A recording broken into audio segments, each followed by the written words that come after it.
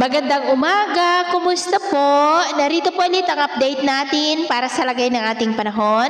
Ngayong umaga po ng February 13, 2024 na kung saan sa ngayon po ay patuloy pa rin ang pag-iral ng hanging amihan dito po sa Luzon pero, pero papahina na po ang epekto nito.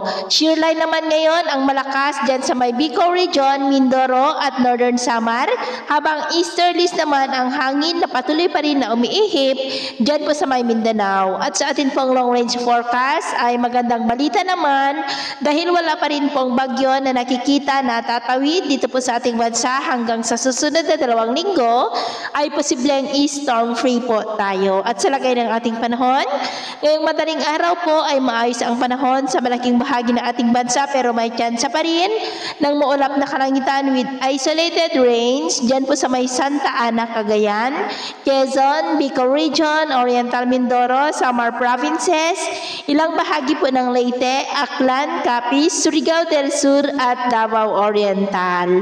At mamaya po ay sisikat ang araw sa malaking bahagi ng ating bansa pero may tsansa pa rin ng maulap na kalangitan with isolated rains sa ilang bahagi pa rin ng Santa Ana, Cagayan, Quezon, Bicol Region, Oriental Mindoro, Samar Provinces, Leyte, Aklan, ilang bahagi po ng Palawan at dyan po sa may Davao Oriental. At mamayang hapon, posible pa rin ang maulap na kalangitan with isolated rain sa ilang bahagi ng Cagayan, Quezon, Bicol Region, Oriental Mindoro, Samar Provinces, Northern Leyte, Aklan, Capiz at Davao Region. Kaya mag-ingat po tayo sa posibleng banta ng mga pagbaha at pagguho ng lupa, lalo na po dyan sa may Bicol Region at Eastern Visayas ngayong araw.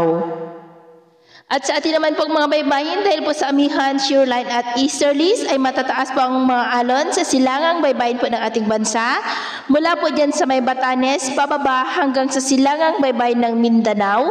Na ang mga alon ay posible po na aabot hanggang po sa 2.4 to 3.5 meters height. At maalon din sa kanlurang baybayin ng Ilocos Norte pababa hanggang dyan sa may Palawan. Na ang mga alon ay posibleng aabot po hanggang sa 1.5 to 2.3 meters height.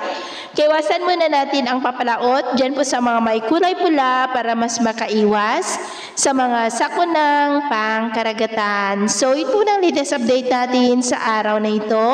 At ako po muli si James na nagsasabing sa kahit anong pagsubok po na darating sa ating buhay, Huwag na huwag po tayong mawawalan ng pag-asa. Thank you and God bless.